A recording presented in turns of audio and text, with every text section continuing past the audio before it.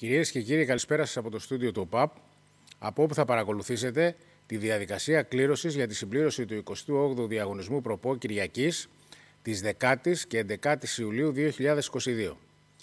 Την κλήρωση θα κάνει η Επιτροπή της Γενικής Γραμματείας Αθλητισμού, η οποία έχει πρόεδρο τον κύριο Γκιώκα Ιωάννη και μέλη της τον κύριο Αντωνόπουλο Κωνσταντίνο και τον κύριο Πουλάκο Μιλτιάδη.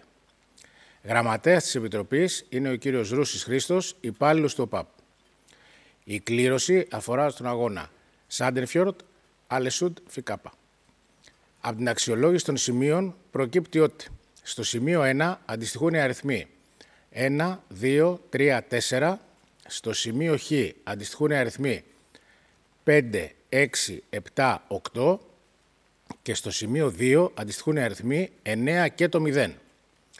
Τα 10 σφαιρίδια βρίσκονται ήδη στην κληροτίδα και είναι τα νούμερα 1, 2, 3, 4, 5, 6, 7, 8, 9 και το 0.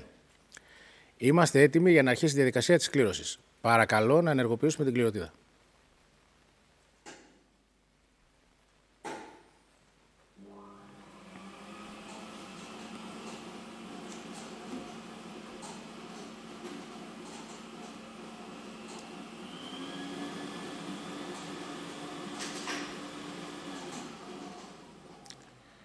Τυχερό νούμερο το 0 που αντιστοιχεί στο σημείο 2.